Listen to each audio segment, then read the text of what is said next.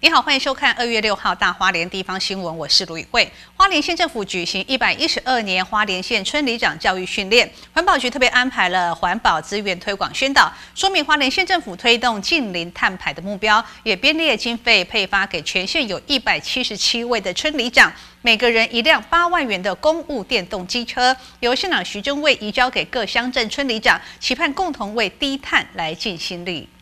花莲县府民政处四日在宜园度假村办理一一二年花莲县村里长教育训练，除了邀请消防局、农业处等单位透过讲座政令宣导，县府环保局也安排环保资源推广政策内容，鼓励民众淘汰老旧机车，换购电动机车，最高可补助两万两千八百元。县长徐正卫也在会中正式拨用一百七十七辆公务电动机车，作为村里长公务使用。经营碳排已经是全世界在推动的这个显学，而且。必须要实际上落实去推动、去实践，而这件事情，地球暖化这件事情跟每一个人都有关，我们都是局内人，而非局外人。此次教育训练，花莲县共有一百七十七位村里长，其中有五十三位新上任。花莲县府目标在二零三零年达到公务车及新能源机车占新售车比例百分之三十五，推动地方乡镇施工所公务使用电动机车，取代以往燃料机车来服务乡亲。全县目前共有一百七十三座电动车充电站以及一百零六座电池交换站，